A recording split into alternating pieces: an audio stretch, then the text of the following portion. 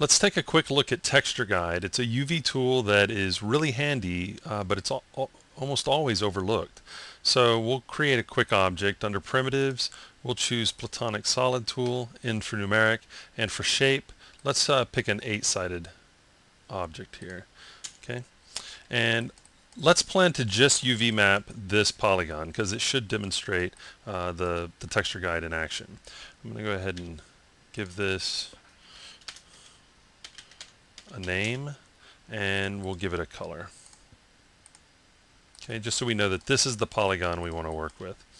If we were to do a planar UV map down the Z, we can see that there's our shape, but this is the shape it would give us. If we were to do it in the Y, well, here's our shape, but this is the shape it would give us. So we really need to map it in um, this axis, which uh, isn't one of our options um, using the standard T for texture, new. We've got planar, cylindrical, spherical, and we have atlas, um, and we can pick the XYZ uh, axis here. But let's go ahead and take a look at texture guide. So I'm going to move over to map for texture. Let's choose texture guide, in for numeric, and let's make a new UV map. We'll call this triangle. And let's switch over to UV texture. Okay, so we can already see that it's mapping it based off of, if I didn't have make UVs uh, active, it wouldn't automatically do it, but I have it active here. And we can see that it's mapping it. Let's size it up. Okay, so I'm changing my scale here just by clicking and dragging, kind of like working with uh, the box tool before we commit. Okay, and we can see, well, there's our shape. We can see the axis that it's on, and it's not working out all that well for us. Uh, y, same thing, and I could I could size this out as well. That's not really working out all that well for us. And of course, x wouldn't uh, as well. It gives us the same shape, but not the shape that we want. It's not the shape of our polygon. Okay, and we could go in here and manually edit this, or we could um, come over to, let's do Z, and then here's our guide. Let's choose rotate, and let's rotate it in the heading, and let's try negative 45, and that gets us a pretty good angle there. But we also need to, to move it in the pitch.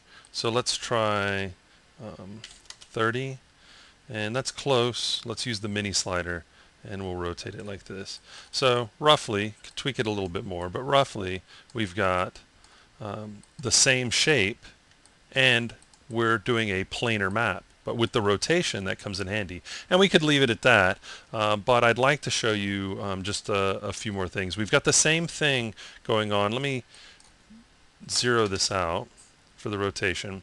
If we were to use a cylindrical map, which is the wrong type of map to use for this, but I just want to point out, if we put it in the Y, that's where our seam is going to take place on a cylindrical map.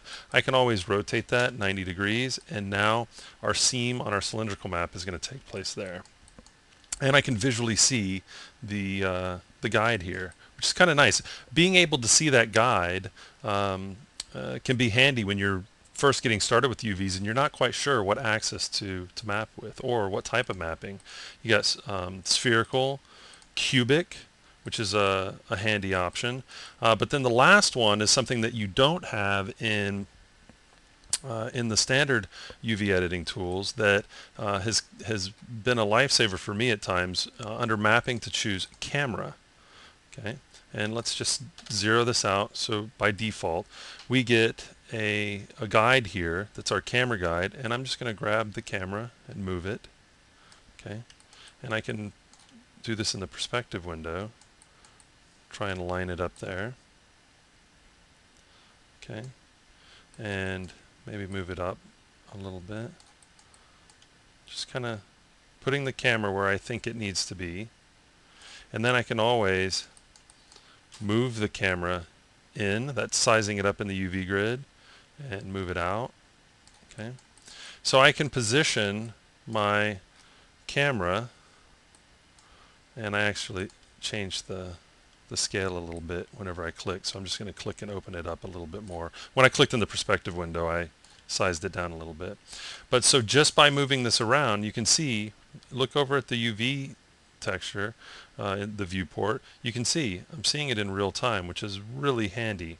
And sometimes if you're trying to get a specific angle, the camera view can be the just the tool to get you there.